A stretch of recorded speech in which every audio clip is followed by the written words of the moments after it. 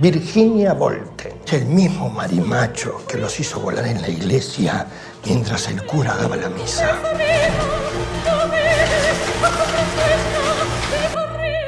Una hora más. Llevarlas a 13 horas. ¿Vamos a dónde? ¿No ven que no damos más? vas de acá. Oh, no. A María le echaron, no está muerta. Y el responsable es Volpone, hay que hablar con él. Te traje los telares de Inglaterra, contraté a la mujer que bastante problema me da. Admita que las mujeres son más baratas. No todas.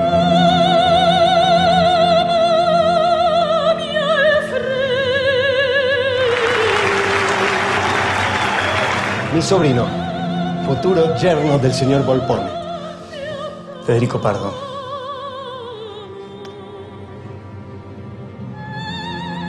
No hay palabras. Las mujeres y los niños trabajan igual que un obrero, pero cobran la tercera parte de su sueldo.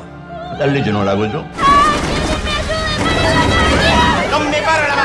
Ya no estamos hablando de conversar, estamos hablando de luchar.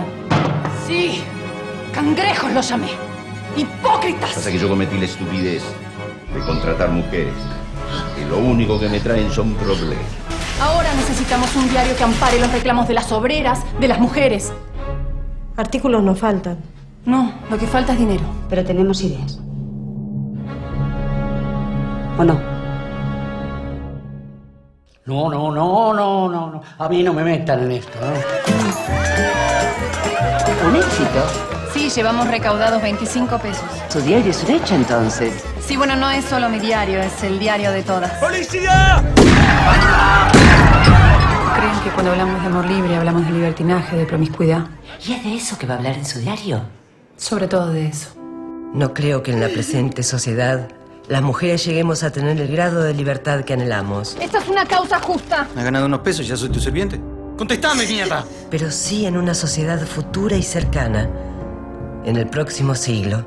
Donde nada faltará a nadie. Donde nadie padecerá hambre ni miseria. Y es por ese ideal que estamos dispuestos a desatar la tempestad del... Dice el amor libre para revolcarte con quien quieras, cualquiera. Entonces sí que querremos el amor libre completamente. Es decir, que la unión termine cuando termine el amor.